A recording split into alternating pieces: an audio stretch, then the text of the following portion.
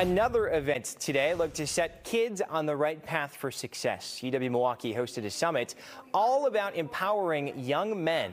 Now, teens were brought together to network and connect with local groups and advocates.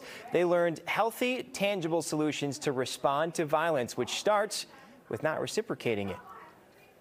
With the political environment, with what people are going through, it's just a lot of stress and, and a little bit of chaos around us. But oftentimes, I still try to find that sliver of optimism in this event and, and the collaborations that the county has been conducting across our community, I think, is, is one of those slivers of hope.